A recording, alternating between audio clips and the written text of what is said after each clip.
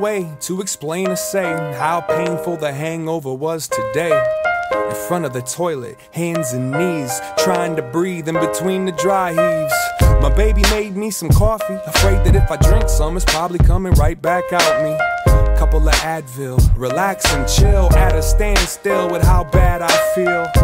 Think I need to smell fresh air, so I stepped out the back door and fell down the stairs. The sunlight hit me dead in the eye, like it's mad that I gave half the day to last night. My bad sight made me trip on my ass right into that patch of grass, like that's life.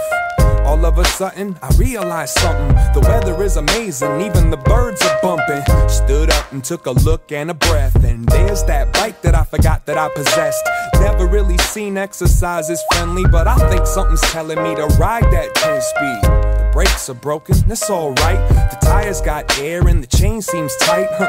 Hopped on, it felt the summertime. It reminds me of one of them Musab lines, like sunshine, sunshine is fine. I feel it in my skin, warming up my mind. Sometimes you gotta give in to win. I love the days when it shines. Whoa, let it shine. Sunshine, sunshine is fine. I feel it in my skin, warming up my mind. Sometimes you gotta give in to win. I love the days when it shines. Whoa, let it shine. Whoa, let it shine. Whoa, let it shine. Whoa, let it shine. Whoa. If I could, I would keep this feeling in a plastic jar. Bust it out whenever someone's acting hard. Settle down, barbecue in the backyard. The kids get treats and old folks get classic cars.